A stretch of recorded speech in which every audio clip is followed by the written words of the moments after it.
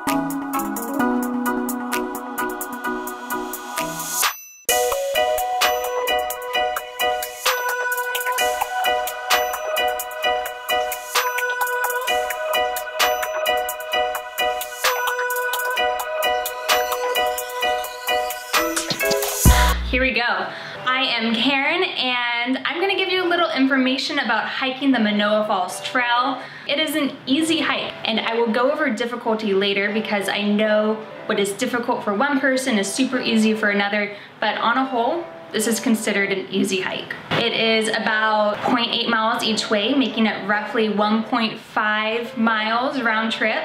I would budget one to one and a half hours. It can get really muddy and slippery, so it's a little slower going on parts of the trail, especially when it's crowded. Elevation is just over 550 feet, so you do get some stairs. So when's the best time to go? Well, if you're trying to optimize to avoid crowds, I would say go before 8 a.m. or after 2 p.m.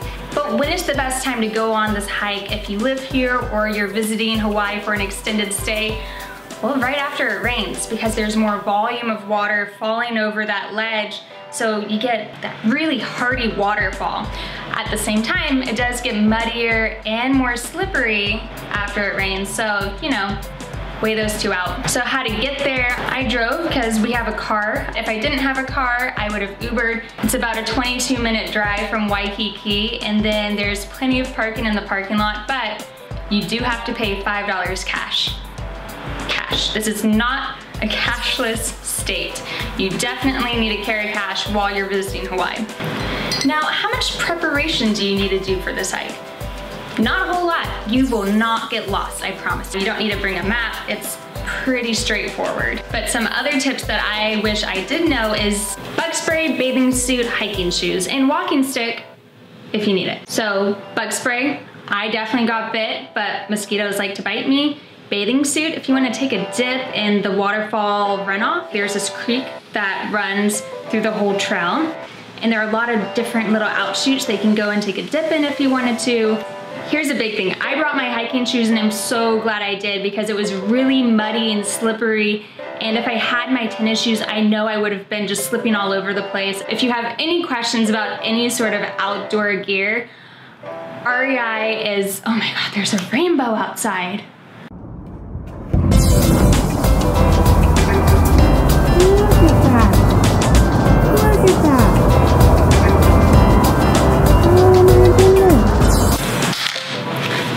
That was so cool. Ah, I love rainbows. What's next? But tennis shoes are totally fine if that's all you have. Just don't do this hike in flip-flops or heels. Don't do, don't do that. Someone recommended a walking stick if you think that this hike is gonna be tough for you because it does kind of give you that extra leverage while you're hiking on stairs and through muddy areas, that extra bit of stability. So who is this hike good for? Everybody. It is considered an easy hike. It's great if you're going with a group of friends or you're looking for a hike to catch up with somebody on. It's great for family. I saw a lot of young families there. I saw a lot of kids under five. So it's a popular family hike. Lots of people over 50. All right, so advanced hikers, you may be thinking, this hike's too easy. I don't wanna go on it. I want a challenge. Well, there are quite a few other trails that you can access through this Manoa Hikes trail. So right as you get up to the end, close to the waterfall, there's another offshoot. You'll see it is pretty well labeled that goes up. There's a lot of great hikes in and around that trail system, and Manoa Falls is really just the beginning of it. Let's talk about difficulty. The hardness of one hike versus another is totally different depending on who you are and I can only speak for myself. But I'm gonna try to give you some perspective so you can kind of figure out what kind of hike this will be for you. If you take me out one end, I consider this hike easy. I would rate it a 1.5, maybe two out of 10, probably 1.5. So when I look back on the hikes that I've done and think about how hard they were, there are two things I consider. One, did I feel safe? And two, was I totally wiped and worn out afterwards? So for this hike, I felt safe the whole time, not a chance I was going to fall off of a cliff. The second part was I worn out. I wasn't sore the next day. I was going through reviews trying to gauge a sense of how hard it would be for someone who was nervous about this. So this one woman I found, I thought her review might be helpful. She said that she was over 50 and considered herself overweight. And for her, the difficulty of this hike was 8 out of 10 which is pretty substantial. She rated it three out of five stars, so I don't think she particularly enjoyed it. Not, she didn't say she regretted it. If you think that you're pretty active, but you haven't done hikes, this is totally a doable hike. Way less paved than Diamond Head, if you want a comparison.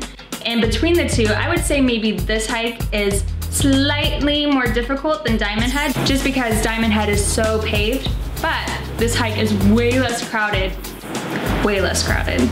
Even during crowded times, it's way less crowded. So would I do this hike again? Absolutely. It gives you that Hawaii jungle feel with huge leaves and waterfalls and a running creek and it's it's really cool.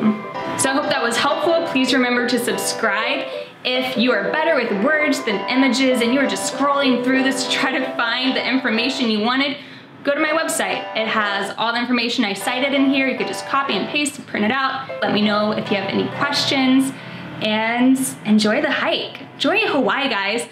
I saw a rainbow today.